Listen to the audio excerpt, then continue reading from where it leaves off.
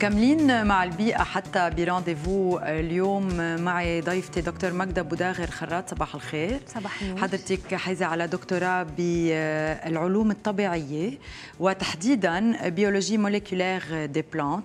وحضرتك رئيسة قسم العلوم الطبيعية بكلية العلوم بجامعة القديس يوسف. اليوم رح نحكي ونفصل المشاريع يلي عم بتصير للبيئة ولمساعدة البيئة وتحسين البيئة. وتحديدا عن مؤتمر رح بيصير ب 15 و 16 تشرين الأول ببيروت. بدي هيك آخذ لمحة سريعة أول شيء عن نشاطات الكلية بشكل عام لبعدين نفوت بتفاصيل المؤتمر. كلية العلوم تأسست بال 97 يعني كلية جديدة بالجامعة اليسوعية. فيها أربع أقسام physique chimie maths و sciences de la vie de la terre يلي أنا مسؤولة عنه ال département فيها بمجال البيئة أكيد في عندها كثير مجالات كل شيء خاصه بالعلوم بس بمجال البيئة في عندنا أكيد بتشتغل على ال qualité de l'air في عندنا ناس بتشتغل على ال qualité des aliments وال équipe اللي بشتغل فيها أنا هي كل شيء خاصه بالبيئة بالمحافظة على البيئة بالجينات المتعلقه بالشجر بإعادة الزرع. منشان هيك عم بيكون في كمان تعاون مع عدة جمعيات خيرية لبنانية اللي بتعنى بهالموضوع. ورح بيكون في جمعية جذور يلي مشاركة معكم بهالمؤتمر بالذات. شو موضوع المؤتمر تحديدا؟ مزبوط اجمالا كل شيء بيعنى بالبيئة المفروض يكون معنا بارتنرشيب مع المجتمع المحلي. لأنه قد ما نشتغل بالجامعات وبالمختبرات إذا هالشيء ما تطبق على الأرض وإذا الأهل المسؤولين عنه ما تبنوا المشروع هيدا الشيء ما رح ما رح يستمر. donc بالمشروع اللي رح أحكي عنه اليوم يلي هو projet اسمه ECOPLANTMED هذا مشروع ممول من الاتحاد الأوروبي. في عنا different partners من ال Méditerranée في عنا دول أوروبية مثل سردينيا إيطاليا كريت إسبانيا في تونس ولبنان بهذا المشروع. الهدف منه هي إعادة تأهيل الموائل البيئية يعني ال écosystème يلي متضررين. يعني هون صرنا ب step أبعد من أنه بس محافظة على البيئة بدنا نرجع نصلح يلي الأشياء المتضررة. وهذا المشروع بلش له سنة وبعد سنة قبل الختام رح نعمل voilà هيدا اللوجو تبع المشروع. رح نعمل المؤتمر ال conférence internationale لحتى كل ال partenaires méditerranéens وال locaux يقدروا يشاركوا بالمشروع ويحكوا عن ال expérience تبعهم. رح بيكونوا موجودين بلبنان مثل ما الكل عم بيكونوا موجودين بكل البلدان أو كل بلد لحال عم يشتغل. هن نحن بنشتغل كلنا مع بعضنا وكل واحد ببلده. نعم. بهيدا البروجي في عندنا des projets pilotes واحد بلبنان وواحد بتونس. ال projet تبعنا هو إعادة تأهيل المناطق العالية. عم نشتغل مثلا projet تبعنا بكفر دبيان مع بالاتفاق مع جمعية جزر لبنان على كيفية إعادة الغابات. مثلا هذه منطقة كانت غابة من زمان وبدها ترجع تصير غابة. بس ما فينا نعملها بطريقة عشوائية. لازم نشوف من وين بدنا نجيب ال graines والشتل. كيف بدنا نزرعهم بأي طريقة بأي saison من أي أنواع. كل هيدي الدراسات وبلشتوا ببعض المناطق بلبنان مثل الزعرور كنت عم تقولي لي. voilà بالزعرور هو مشروع كان مع مع جزر لبنان نعم. بكذا منطقة بلبنان. جزر لبنان بتزرع بكل المناطق اللبنانية. منهم كانت منطقة الزعرور من من سنتين زرعنا. نعم. هلا في عندنا مشاريع عديدة مع مع جزر لبنان وفي عندنا الجالا دينر مبدئيا بجون. ومش بس التحريش هو الهدف إنما أو هو الشغلة الوحيدة يلي عم تنعمل لأنه في كثير قصص عم بتبلشوا تشتغلوا عليها. وكمان دراسة للكائنات الحية يلي مهددة بالانقراض. عم تشتغلوا لحتى ترجعوا تردوها ولا حتى تعيدوا كمان توازن البيئة اللي حواليها من شان كمان يكون هالمكان مناسب اكزاكت يعني هي في اشياء فينا فينا نعملها. وفي أشياء طبيعة لوحدها بدها تتجدد بس نحن بنعطيها un petit coup de pouce يعني آه مثلا الحيوانات ما فينا نجبرهم نجيبهم ونجبرهم يقعدوا هون. في أشياء نعملها بس لازم يكون déjà المحل مؤهل لهم يعني نحن ال projet تبعنا هو إعادة تأهيل النظام البيئي côté plantes يعني بالنباتات بالأشجار بالزهور الموجودة. وإلفوا صارت هيدا الشيء صار stable بيرجعوا الكائنات الحية منهم لوحدهم بيجوا من مناطق ثانية وبيتكاثروا و وبياخذوا هيدا الموئل مثل بيت لهم يعني كأنه هو إعادة أحياء للطبيعة exactly. لحتى هي ترجع آه، تشغل هال système كله مع بعض. هل في كائنات انقرضت كليا وعم تجربوا ترجعوا تجيبوها من غير أماكن؟ لسوء الحظ إيه. آه في عندنا كثير آه كائنات حية انقرضت. هلأ في عندنا مشروع ثاني عم نعمله هي نعمل ال liste ال red list يلي هي بالكائنات المهددة بالخطر. هيك déjà بنعرف شو شو اختفى شو كثير مهدد وشو رح يصير مهدد بالمستقبل القريب. هيك بنصير نقدر نعطي priorité للأشياء اللي لازم نعملها. نعم. آه بس هون في شغلة يعني ممكن تجيبوا أشياء من غير بلدان آه هون النقطة أه. اللي كثير دقيقة بالمشروع. نعم. اجمالا بنرجع إذا بده يرجع ينجاب شيء هي شيء كان déjà موجود عندنا اجمالا المنطقة البحر الأبيض المتوسط هي 50% من الكائنات اللي عايشين فيها إن كانوا نباتات أو حيوانات عايشين بس بال Méditerranée. ما بنلاقيهم برات ما بنلاقيهم مثلا بأستراليا بأمريكا فوق بأوروبا.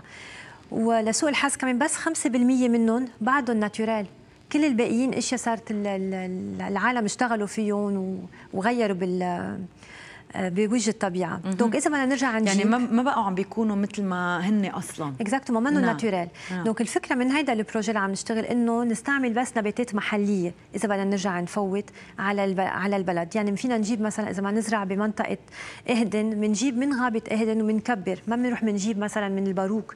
عرفت إنه في إشياء ما ننتبه على ال local وإذا على مدى أعلى شوي في عندنا المناطق لحدنا مثلا بسوريا وتركيا ما رح نروح نجيب من إسبانيا نفوت على لبنان. ما بيزبطوا مع بعض؟ هي لأنه الكائنات الموجودة عندنا لها ملايين السنين موجودة هون. donc اللي adapté وعلى ال climat الموجود على طبيعة الأرض. donc هول الإشياء لازم ناخذهم بعين الاعتبار. آه، وهيدي كثير مهمة لكل الأشخاص المفروض يحضروا هيدا المؤتمر. يلي هن ال landscapers يلي عندهم مشاتل. الجامعات يلي بتعلم آه، كمان التأهيل البيئي. توعيهم على فكرة كل شيء ال plantes natives ال native species يلي لازم آه، نحافظ عليها. ولازم نخلي لها هال terrain favorable يمكن لحتى ترجع تنمى. هل في أشخاص أفراد ممكن يستفيدوا من هالمؤتمر مجدا؟ أكيد نحن عملنا مؤتمر local قبل ما نعمل ال international وكان في صراحة إقبال كثير كبير من كل الجامعات اللبنانية وكان في عدة مشاتل كانوا représentés وهلأ في هذا الشيء ما كنا نلاقيه مثلا من عشر سنين. اليوم المجتمع اللبناني صار صار حاضر صار واعي إنه على على المسائل البيئية وصار ready إنه يعمل أشياء لحتى يحسن. مثلا صار في coopératives لكل شيء شجر native مثلا وزارة الزراعة أطلقت مشروع ال 40 مليون شجرة. الحلو إنه عم تشتغل مش بس على المشروع بس زرع شجر بس على كل تأهيل ال chaîne. يعني من محل ما بدنا نجيب البذور لوين بدنا نزرعهم لتأهيل المشاتل. كله هيدا بكمل بعضه. نعم. واليوم المجتمع اللبناني كثير عم بيساعد بهيدا وزارة البيئة قد إيه عم بتساعد؟ كمان مثل ما ذكرتي وزارة الزراعة آه، عم بيكونوا مشاركين آه، ب بهالمشاريع هيدي. كيف عم طبعا إلى حد ما نحن ما فينا نشتغل برات الإطار العام اللي موجود. عندنا كل شيء ال législation ال regulation موجودين. بدهم بس يتطبقوا وهلأ اليوم دور الجامعات هي إنه تقدر تستقطب هالمشاريع ال internationaux لتقدر تجيب fund لتشغل الشباب الموجودين يلي عندهم كل الكفاءات واللي عندهم الاستعداد ليشتغلوا. دونك هيدي حلقة متكاملة. يعني بدك الأشخاص بدك التمويل وبدك الكادر الدولي. نعم. أه، ليه حاليا هالقد في اهتمام من قبل الشباب تحديدا لحمايه البيئة؟ هل بفضل المبادرات يلي عم بتصير إن كان من الجمعيات أو من الجامعات أو من الناس المختصين أو هل لأنه بالفعل في تدهور كبير للبيئة؟ هو تدهور عم بيصير صار بلش من زمان. بس هلأ صار في وعي له يعني أول شيء كان كل شيء مشاكل البيئة كانت بتخص بس الأشخاص ال écologues هود اللي بيصرخوا على التلفزيونات وقفوا. هلأ صارت مسألة الكل. ما بقى إنه مشكلة شخص أو شخصين أو جمعيات بيئية. المشكلة عم نحسها كلنا. يعني مش ضروري واحد تكون معه دكتوراه بالبيئة ليكون يفهم بالموضوع. هذا شيء vraiment للكل لازم لازم يهتموا فيه. وكلنا مسؤولين. وكلنا حنتضرر أو حنستفيد منه إذا اشتغلنا صح ودائما عم نفكر بالمستقبل وبالجيل القادم أكيد. كمان الضرر رح بيكون أكبر إذا اليوم ما بلشنا نحط حد لهالموضوع ونشتغل لتحسينه. شفنا بالصور مختبر للبذور. هيدا المختبر تابع للجامعة وشو دوره؟ نعم هيدا المختبر تأسس بال 2009 جمعية جذور لبنان بالاتفاق مع كلية العلوم. آه، حضرت هيدا المختبر. هي وقت بلشنا نزرع بال 2008 2009 آه، كنا déjà واعيين على فكرة ال native species ما بدنا نزرع أشجار من برا. بدنا نزرع أرز محل ما الأرز بيطلع بدنا نزرع مش بس أرز وصنوبر بس في عندنا غير عندنا مثلا الخوخ البري آه، الكرز البري. عندنا كثير أنواع موجودة بلبنان. عندنا مثلا آه، الجوز. عندنا كذا نوع موجودين بالمناطق بس ما بنلاقيهم بالمشاتل وقت ما نرجع نعمل تأهيل لموقع بيئي مثل ما كان لازم نطلع كيف كان وشو الأشياء الموجودة بقلبه. يعني عم تاخذوا هالبذور وتشتغلوا عليها بالمختبر لتتكات فوالا هلأ صرنا بنعرف أي population بلبنان وين موجود شو. بنقدر نجيب منه بذر بال labo بنتعلم كيف نفرخه كيف نكبره. وبنوزع ال protocole de germination تبعه تبع ال seeds لكل ال pépiniéristes المهتمين. تبعدين نقدر نشتري منهم شتل لنزرعهم. أها. يعني عمل عم بيكون علمي آه، بيئي كمان.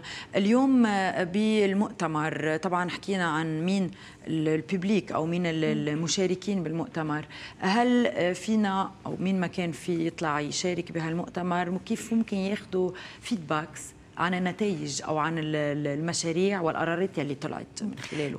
على ال website تبع تبع ال projet ال Ecoplant dot eu رح في كل ال informations وفي حتى عن ال keynote speaker يلي حيجوا ال international حيجوا يحكوا بهذا المؤتمر. وحتى في أشخاص من كل الجامعات بلبنان رح يكونوا مشاركين. بتمنى يجوا يشاركوا مع مع تلاميذهم. بس مثل ما قلت هذا مفتوح لكل العالم. بيقدروا بيقدروا يجوا يقدموا حتى ياخذوا الخلاصات اللي حتطلع من من وراء هذا المشروع. ماجدة بدي أستفيد هيك شوي من وجود حضرتك معنا وبما أنه حضرتك رئيسة قسم العلوم البيئية بالجامعة اليسوعية هل هل département يلي مش كثير له زمان نسبيا أجدد من غيره؟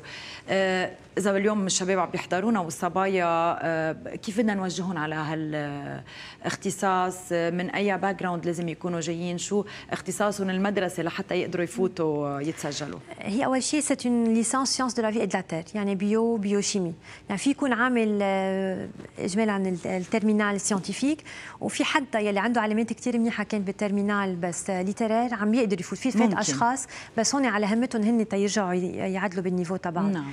بعد ال licence يلي هي licence générale بياخذوا فيها عن علوم الأرض عن علوم ال zoologie وال botanique وكمان biologie moléculaire كل الاشياء البيئيه بعدين فيهم يتخصصوا بال niveau master بفوتوا بالعلوم البيئيه يعني هالاختصاص أو هالمواد اللي موجوده ضمن هالاختصاص. آه، قد إيه عم بيكون العمل التطبيقي عليها سهل أو مسهل بلبنان؟ مجد هل في صعوبات؟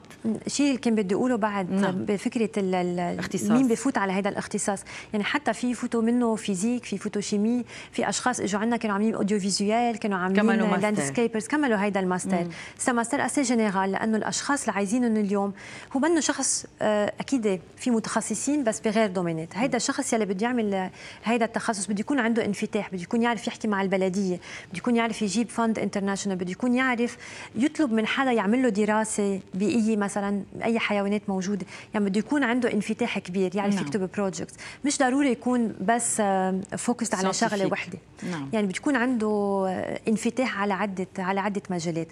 كرمال فرص العمل عم بتصير أكثر وأكثر يعني. أو حتى يمكن ال trainings والتطبيق على الأرض ضمن الدراسة يعني. ما فيني أقول لك قد إيه عندهم فرص يعني ال équipe اللي عم تشتغل معي بهذا ال domaine ما في شهر بيمرق إلا ما في عندنا workshops عندنا training بوزارة البيئة بوزارة الزراعة NGO جامعات ثانية عم تعمل يعني في هلأ بتحس في dynamique مش منا normale وهذا شيء كثير كثير positive هل لأنه متضررة البيئة أكثر من غيرها بلبنان آه، برأيك؟ آه، أكيد يمكن. أكيد. مم.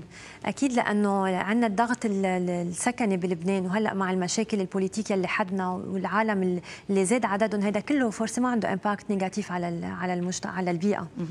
وهذا كله بده عمل وعمل دؤوب ليرجع يوقف طويل على الأمد. طويل الأمد يعني وهون بده نفس طويل أكيد.